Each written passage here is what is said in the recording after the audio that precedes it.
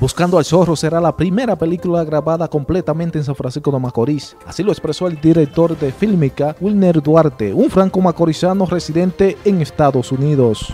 La película estará en todos los cines desde el 11 del presente mes. El productor destaca que es un rodaje para todo público. Eh, Buscando al Zorro trata de un padre que lucha por criar a su hijo sin la ayuda de una madre quien está ausente. Eh, en este caso, eh, el, niño aclama por, por la madre, el papá no le da motivo ni razón cómo o por qué la mamá lo, abandonó.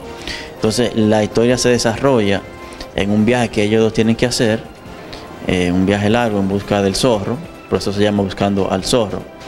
Pero Buscando al Zorro es más una excusa para desarrollar la historia eh, y la película fue rodada completamente aquí en San Francisco de Macorís, en la zona de la Loma Quitespuela, la Bajada. Eh, tiene unos paisajes preciosos y, sale en los cines a partir del 11 de abril. Es una película completamente franco-macorizana, orgullosamente.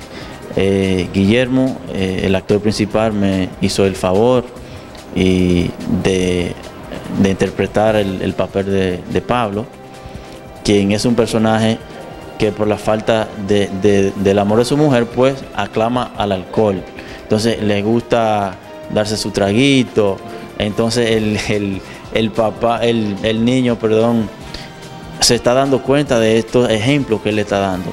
Guillermo Liriano, quien interpreta a Pablo, personaje principal, hace un llamado al público en general que asista al cine a disfrutar de una película realizada en campos de esta ciudad de San Francisco de Macorís. Bueno, eh, el, reto de este personaje era el tema del habla, de cómo, cómo este personaje se comunicaba y el director quiso respetar eso, el tema fonético de, de cómo el personaje se comunicaba cómo, cómo, cómo habla la gente del campo, cómo camina, cómo se relaciona con, el, con su medio ambiente.